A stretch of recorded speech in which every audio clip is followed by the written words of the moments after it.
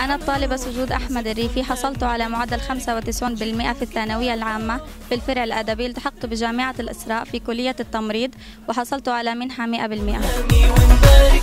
جد